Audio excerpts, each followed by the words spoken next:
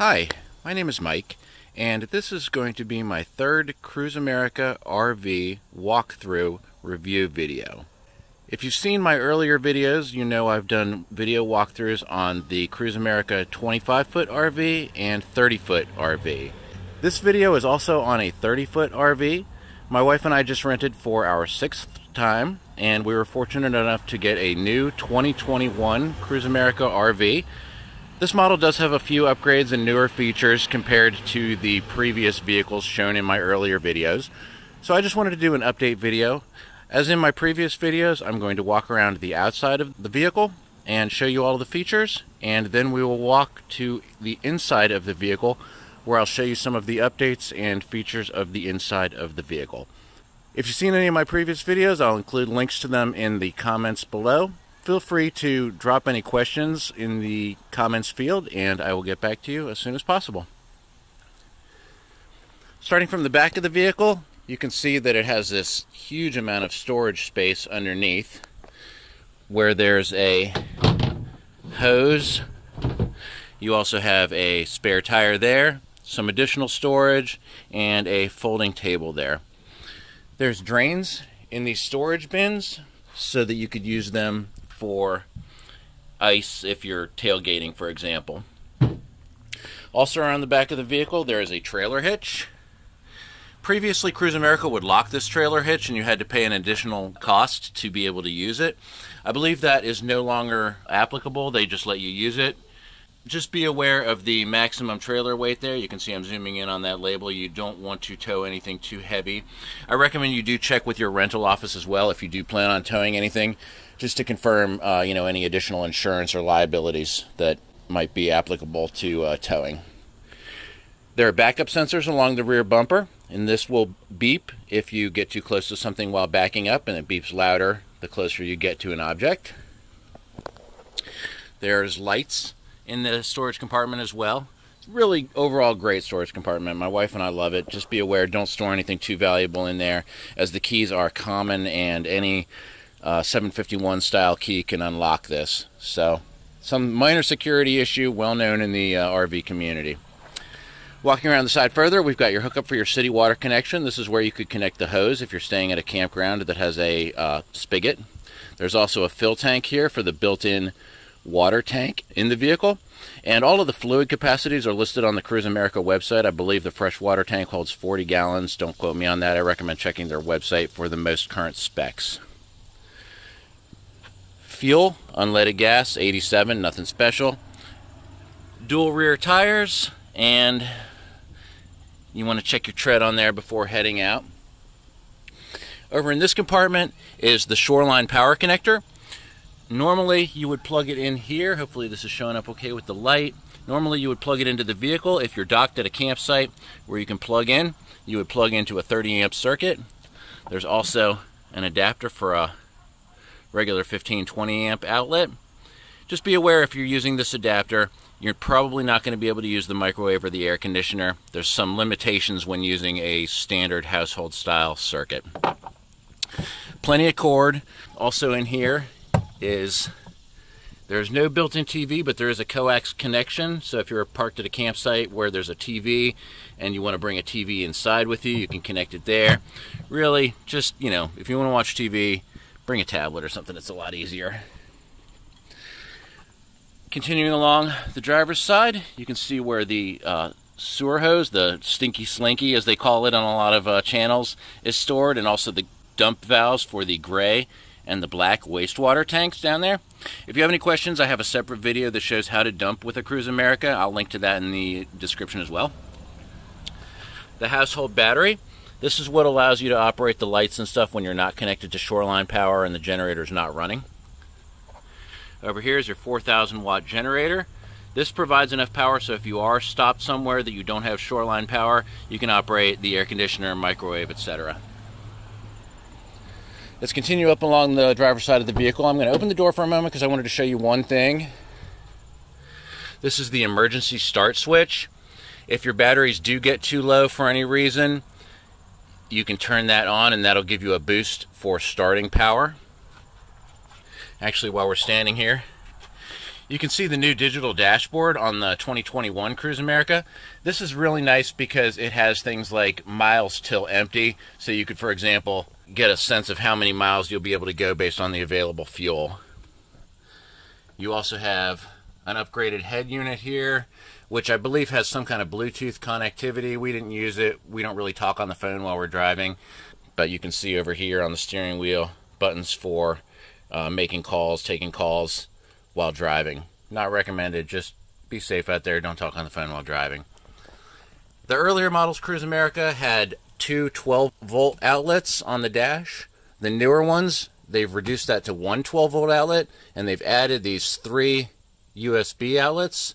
So you've got two USB A and one USB C port. That's for charging your phones or powering, you know, GPS, Garmin's, whatever you need to plug in there. Great center storage console. We really love this. This is the same as it was on the earlier vehicles. Tons of space. We'll typically, you know, when we're traveling, we'll usually put like a bottle of hand sanitizer in there just because COVID still isn't quite over, you know.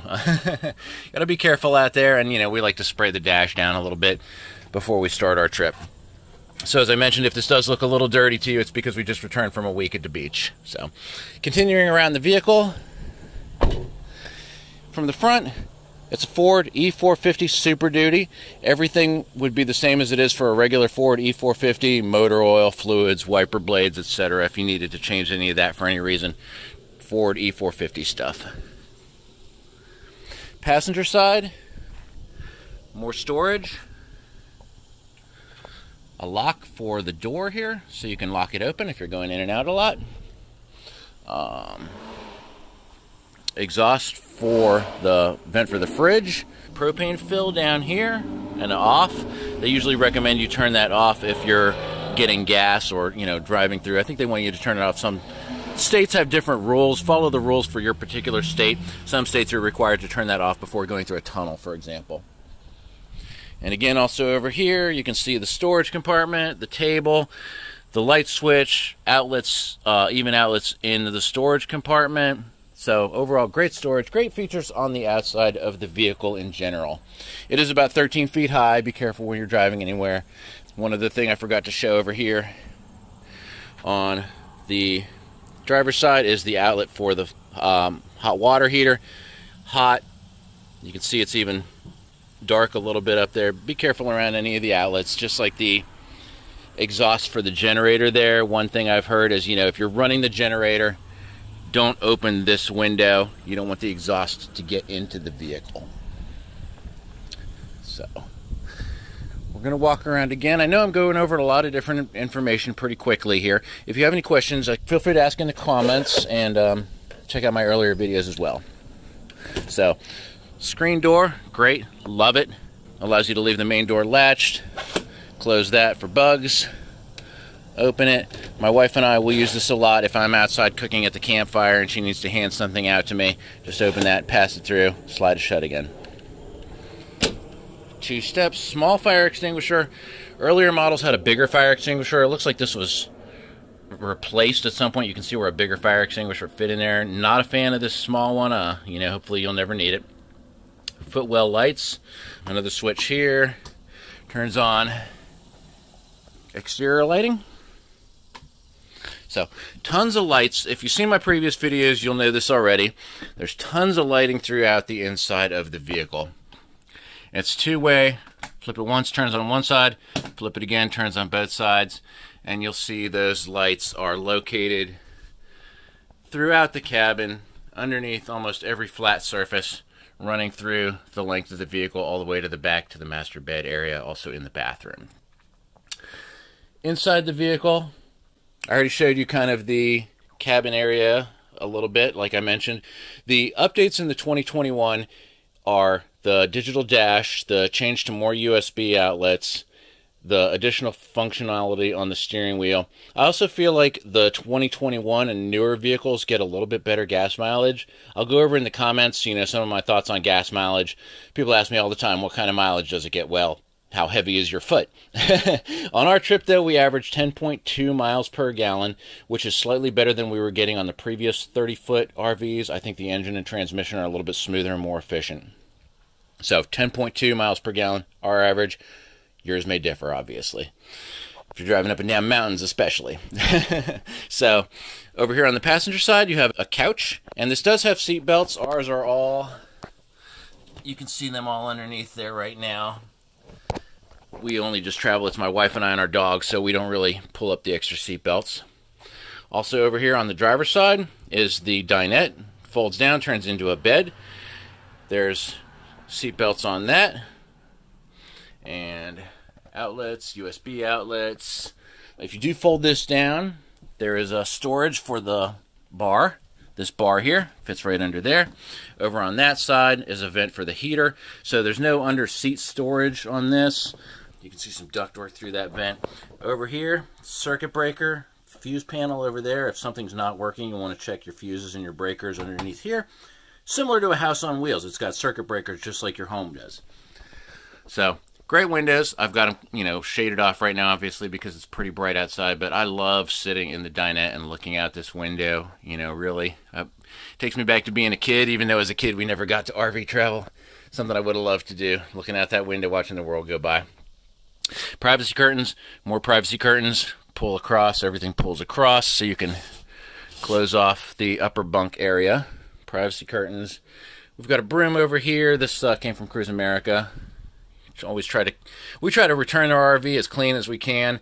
You know, it's anything you get is only going to be as clean as the person before you, and then whatever they had time to do in the shop. So, as a courtesy, think of the people who come after you, and at least you know try to sweep it out a little bit. You know, don't make uh, the Cruise America team do all the work, especially in this day and age. You know, you want to clean up after yourself a bit. So, great storage here throughout the kitchen. We've got a small microwave. It's off right now because the generator's not running and we're not plugged into Shoreline. You'll see inside the microwave it does have one of those glass plates. That'll rattle going down the road, so typically we'll take that out and put it into storage in one of the drawers. Just rattles are annoying when you're driving. Compartments up here, plates, bowls, mugs, cups, all up there. The stove is slightly redesigned for the 2021 model RV and it's got a hood light and a fan. So to turn it on, I'm not going to turn it on right now. It really does take two hands. You want to turn, push this knob down, turn it to the blue ignite, and then press your ignite switch right there. So it's a two-handed operation, one to turn and hold down and one to push. I guess I could do it with one hand, but kind of hard. So that's a safety feature. It was a bit of a learning curve to learn how to turn it on for the first time. We don't usually use the stove anyway, we typically cook outside. More storage throughout the kitchen area. And you can see above the door, typically for us, we'll use this one for outside stuff, dog leashes, flashlights, umbrellas. Convenient for grab and go when you're on your way out the door. Also smoke detector up here. Also along the roof, roof mounted air conditioner. Again, that does only work if you're plugged into shoreline power or if the generator is running. So obviously off right now. It's got some directable vents, filters, probably need to be cleaned. But gets it about 20 degrees cooler.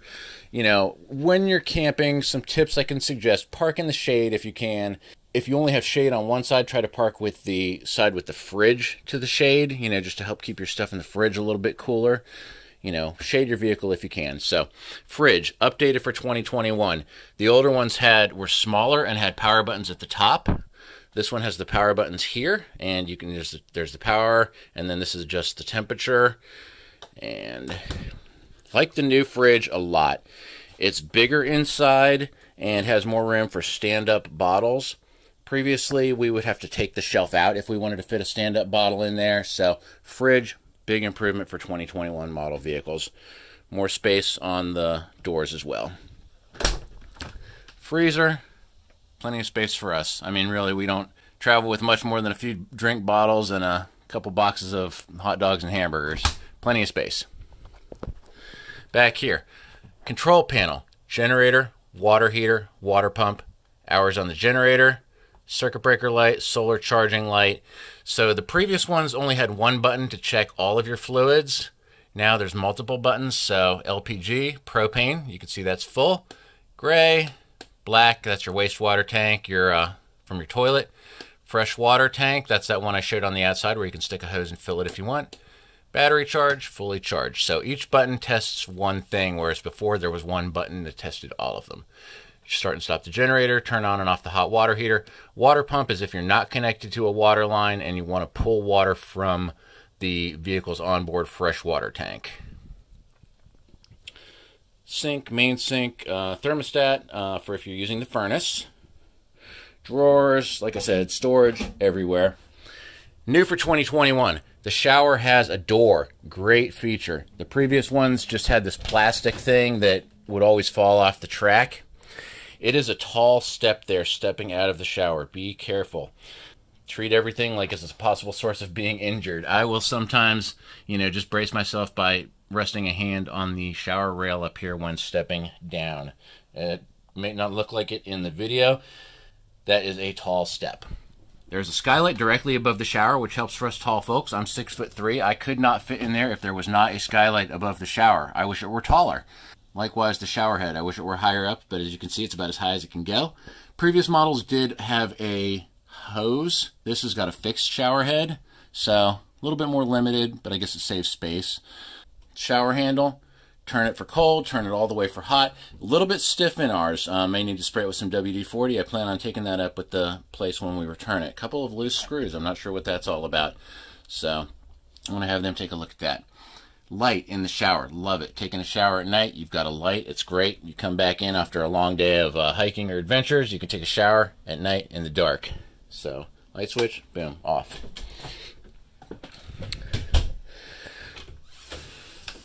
Bathroom. Similar to the previous models, that's a vent down there for the furnace. Storage, storage, storage, storage. Rooftop vent. There's a couple of these throughout here. Fan, very important for a bathroom. Lights, as we mentioned. Dometic foot pump toilet right there. Make sure your water pump is on or you're hooked up to uh, shoreline water. Press that down, flushes the toilet. Let's see decent amount of counter space. Uh, you know, we live in a small home. I feel like this bathroom actually has more counter space than our home bathroom. Some hooks. There are also a few hooks around the front, a few hooks around here. Master bedroom. Not too much change over the previous. You've got some light switches, uh, an access panel for working on the shower. You won't need that. This down here, all the way down. Carbon monoxide detector. I accidentally set that off on our last trip spraying aerosol sunscreen in the bedroom. So just be aware there's a button on it to turn it off if you set it off by mistake. It's loud, it'll wake you up if there is actually a carbon monoxide concern. Windows, storage cabinets, more storage cabinets, more storage cabinets, drawers. There is no storage under the bed. That is a common question. We'll lift this up. You can see that's uh, a holding tank for. There's underneath of this panel. There's a uh, mechanical stuff, pumps and water tanks. So plenty of storage from the outside, no storage under the bed. Common question, wanted to cover that. Looking at it from the back, you can see there's more power outlets and USB outlets on one side of the bed only. I don't know why both sides of the bed don't get USB and power outlets. You seem like think that's something that would have been addressed after all these years. We joke that it's a his and hers uh, bedroom. The his is the man's side with the smaller cabinet. The hers side has got the larger cabinet but no power outlets. I guess your wife doesn't get a uh, power outlet. Switches on the side for reading lights. Be careful, don't sit up in bed too fast and hit your head on that. Doesn't feel good. So, more roof vents up here. So this video is getting pretty long. I see we're coming close to 20 minutes. As I mentioned at the beginning, I will include some additional information in the comments, my thoughts on gas mileage and pricing of the vehicle. Obviously, there's no set price on these. It varies significantly depending on the time of year, distance traveled, how long you're renting for, whether you need any optional extras like the cooking kit, bedding kit, house cleaning kit, stuff like that. They offer a ton of kits. You can even rent chairs from Cruise America. I didn't realize that, but they even have chairs available for rent now. So, Talk to your salesperson. They can set you up with anything you need for your trip. We typically bring everything from home. We've got a tote in our garage that we store everything in, but I know some people will fly to a destination, won't have bedding or pots and pans. So You can get all that from your sales office. Pretty reasonable prices for most of it. Talk to your salesperson, let them know what you need. Ours in Manassas, Virginia have been great. I can't speak highly enough for the team at the Manassas, Virginia Cruise America location. I can't speak for them at your particular location. There are over 100 locations through North America and Canada. I'll include additional information in the comments uh, section, and if you have any questions, feel free to drop those in the comments as well. I hope this video has been helpful. As I said, this was our sixth time taking a Cruise America RV rental. We do hope to own one someday. We really enjoy it and hope that you do as well. Have a great day. Thank you for watching and stay safe out there. If this video has been helpful to you, please like and subscribe to my channel for more contents.